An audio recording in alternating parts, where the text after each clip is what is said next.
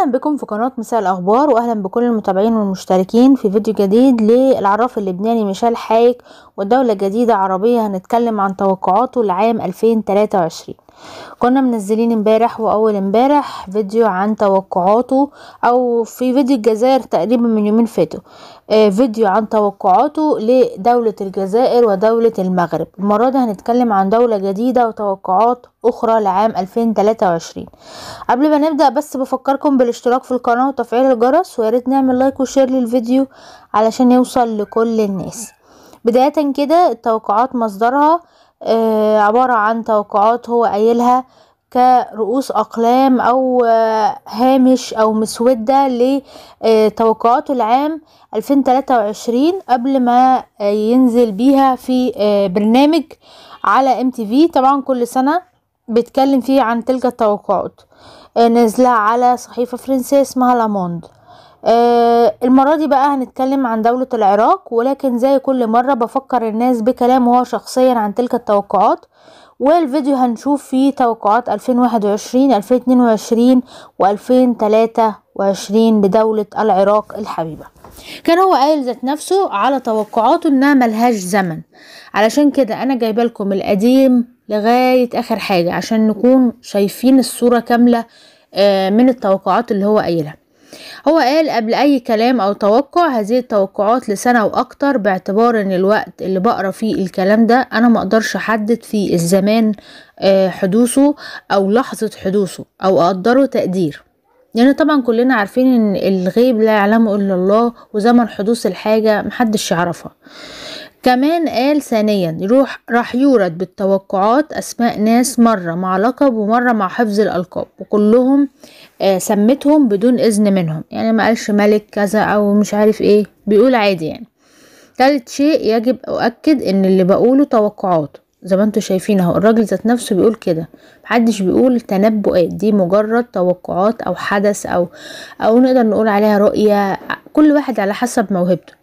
يعني ممكن تحصل أو ما تحصلش. مع العلم إني بتمنى ان يحصل الحلو والأبيض وآخر شيء بحب أقوله إني لما بتوقع أنا بنسى حالي وبخرج عن حالي يعني بنفصل وبتجرد عن حالي يعني ما بتأثرش أو بنحاز. يعني كل التوقعات مش مفصلة على قياس حد. عشان محدش يقول أنت بتحب مثلا دولة العراق فأي التوقعات عليها حلوة. أو أنت عشان بتكره دولة العراق فقال عليها توقعات وحشة. اللي بيشوفوا بيقولوا إن كان حلو أو وحش. فدي آه حاجة كده لازم نقولها قبل ما نبدأ التوقعات بتاعتنا عشان نكون فاهمين الدنيا ماشية إزاي. هنبدأ من القديم للجديد. ميشيل حايك في 2021 في قال في توقعاته لدولة العراق القاعدة الأمريكية العسكرية بتستلم أهداف موجعة. القاعدة الأمريكية العسكرية بتستلم أهداف موجعة. الخزعة لقائد الحزب الشعبي وحزب الله العراقي في معارك مفصلية ومصيرية بتحمل دم وضحايا. بين قائد الحزب الشعبي وحزب الله العراقي في معارك مفصلية. المنطقة الخضراء ببغداد هتكون موعد مع التصفيات وإعادة الحسابات. آه بيحاول الكاظمي الصمود أمام اهتزازين واحد منهم طبيعي وواحد منهم أمني. زيارة كاظمية بتولد مطرح غليان استهداف رؤوس من الجسم القضائي العراقي. يهتز العراق إثر اهتزاز القشرة الأرضية وسد مائي مرعب. ربنا يستر. استهداف مقام ومقامات دينية والتداعيات حدث ولا حرج. وده شفناه تقريبا آه كان في مقام تقريبا آه في الكوفة حاجة زي كده. مش فاكرة كان في مقام كده وقع على الناس ساعة آه ما كانوا بيزور مقام سيدنا علي بن أبي طالب تقريبا. مش فاكرة فكروني أنتوا يا اخواتي حبايبنا في العراق كان في حاجة زي كده لما وقع على الناس وكان في دربكة كبيرة قوي قاعدة عين الأسد العسكرية في عين العاصفة الحربية. تواصل ثوري ومخبورات مشتركة بين العراق ولبنان. بيقفز مقتضى الصدر من نقطة السلم إلى نقطة اللا سلم. ده بالنسبة ل 2021 أما على 22 يعني السنة دي كان قايل تشييع جماهيري في أرض العراق. تشييع جماهيري في أرض العراق. وقال كمان بحذر بتقوم رغد بنت الرئيس الراحل صدام حسين بخطوات واسعة. كمان مرة جريمة ذات صلة بمطار بغداد واغتيال ديني بيهز ويحرك الشارع العراقي. خضة وأكبر بسجن عراقي. جاي دور البرلمان العراقي والصورة رمادية على أسود. ده شفناه الأيام دي الشهور اللي فاتت لما شفنا الدنيا مقلوبة في البرلمان وشفنا الكلام بتاعه في 2021 على المنطقة الخضراء كانت مقلوبة برضو لما كان العراقيين فيهم بيطالبوا بإن آه الانتخابات بتاعة البرلمان دي تتعاد يتشال البرلمان وكانوا رافضين ساعتها آه السودان إن هو يمسك رئيس الوزراء. عشان هو جاي من الشيعة الإيرانيين يعني على حسب كلامهم كمان القصة محكمة وقاضي والاتنين برسم كل الخطر مفاعيل النهضة الثقافية والفنية والجمالية راح تتغلب على مفعول الاعتداءات والأحداث المفتعلة في أربيل. مفعول رجعي مسلح على مفعول الانتخابات العراقية وده حصل. مفعول رجعي مسلح على مفعول الانتخابات العراقية. ضجيج عالي وعالمي ومحوره الآثار العراقية. ده بالنسبة ل 22 أما الجديد بقى إيه توقعاته لدولة العراق لعام 2023 على حسب المسودة اللي بعتها لصحيفة لاموند قال أول حاجة رئيس وأكتر في أرض العراق وحاكم وأكتر يمسكوا البلد والشعب من يدفع الثمن عارفين لما بنسمع مثل الريس المركب اللي فيه أكتر من ريس بتغرق هو ده اللي حصل في العراق دلوقتي. لو ما اتحدوش مع بعض هيبقى الشعب هو اللي بيدفع الثمن في الآخر. تاني حاجة رجع تاني اتكلم عن المنطقة الخضراء وقال المنطقة الخضراء مش خضراء بل حمراء وأرض لتصفية الحسابات. يعني بعيد تاني إن الموضوع ده هنرجع نشوفه تاني. سنة مع سنة ركزوا بقى في التوقع ده. سنة مع سنة.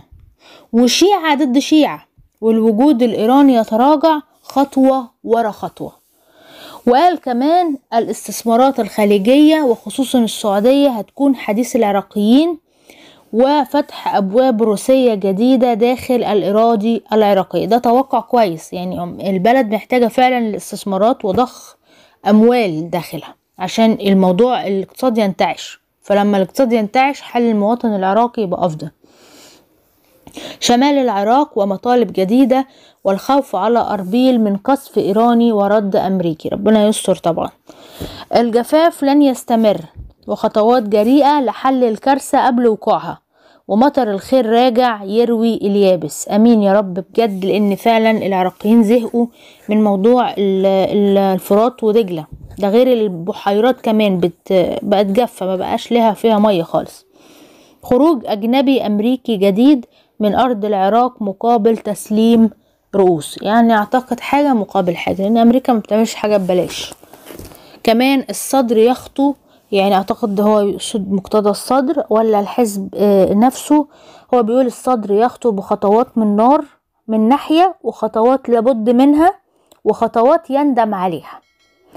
القصف الإيراني التركي في غمضة عين ولكن هذه المرة سيخرج من العراق من يرد عليهم ويصيبهم في مقتل.